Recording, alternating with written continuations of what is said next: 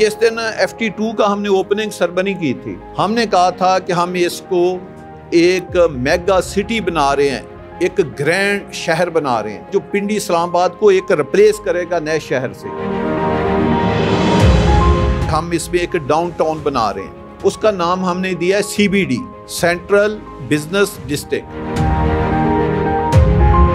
सिर्फ़ इसका मरकज जो है फैसल टाउन फ़ेज़ टू का, वो साढ़े पाँच हज़ार कनाल का है।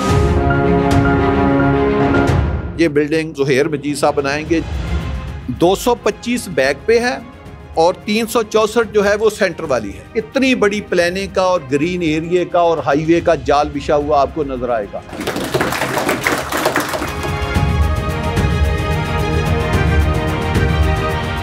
बड़ी बात नहीं करना चाहूँगा, पर इन जैसे हमारा एग्जीक्यूशन कंप्लीट होगी जिस तरह दुबई मरीना के अंदर आपको बैंक्स मिलते हैं, साथ वॉकिंग ट्रैक्स मिलते हैं बेंचेस मिलते हैं, लोगों के अपार्टमेंट्स के साथ साथ पानी के साथ बैंक्स बनकर फेंस हुई भी है। इन जी हमारी मैनेजमेंट की पूरी यही कोशिश होगी कि आपको वही व्यू वही फैसिलिटीज़ आपको सी के अंदर मिले। थीम पार्क के हवाले से आपको मैं पहली खुशखबरी दे देता हूँ तकरीबन डेढ़ सौ से दो सौ करोड़ डॉलर पहले ही तीन पार्क के लिए डिज़ाइन करके। नाम के पास हमने बिल्कुल तैयार छोड़ी हुई है।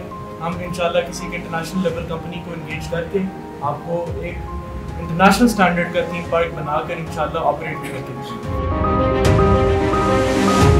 जू के ऑल्टरनेटिव हमने एक बोटानिकल गार्डन जो कि exactly of the size of theme park है, वो भी मौजूद है प्लानिंग के अंदर और इन आपको जू कम बोटानिकल गार्डन हम एग्जीक्यूट करके देखेंगे तकरीबन मेरे नाकिस अंदाजे से सौ सवा सौ कनाल क्लब के लिए भी रिज़ल्ट की हुई वैसे काम खुद आपको state of the art club बनाकर हमारे मेंबर्स के हवाले करें। अब ओवरसीज पाकिस्तानियों ने बड़ी ईद पे आना है। आप सब लोगों के बाहर क्लाइंट है।